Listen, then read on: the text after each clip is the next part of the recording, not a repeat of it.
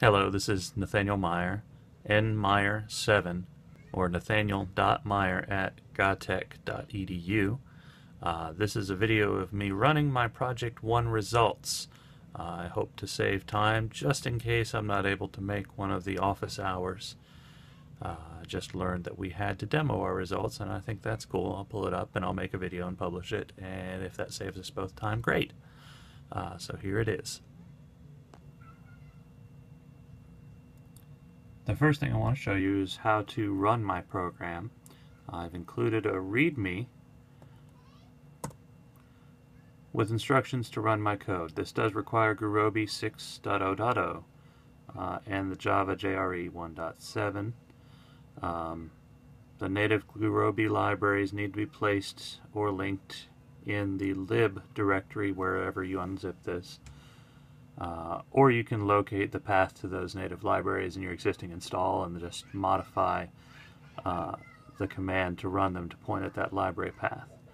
Uh, the command to run the program is Java. Uh, you pass it the compiler flag, or I guess runtime flag, java.library.path equals lib, or wherever your Gurobi libraries are.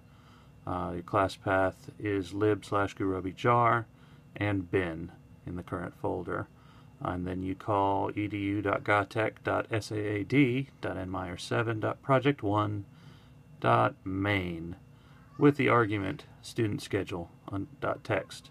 Or if you have a different schedule you want to test with, call it with that scheduled file. Now I'd like to show you the running of the program. I have uh, my library path set my class path set all on the command line. I'm calling the main class with student schedule.txt that was provided.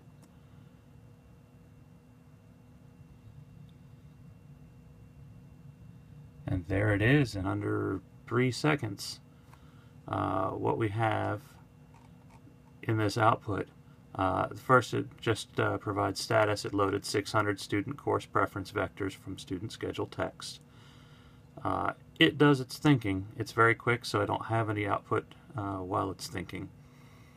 And then I print out as result for each class how many seats will be used, what is the minimum number of seats that have to be available in each semester for this program.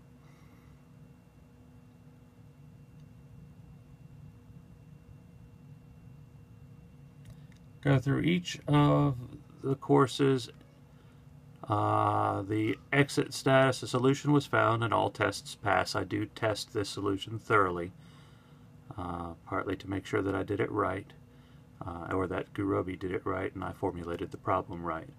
Uh, and the minimum class size I found, X is 107 seats. Please check it. It didn't agree with the count that the instructor gave, but I couldn't find a test that would fail, so I think it's a correct answer.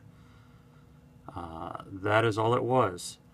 If you have any more questions, email me at nathaniel.meyer at gatech.edu uh, or find me on Google for a hangout at samurai nate at gmail.com. Thanks.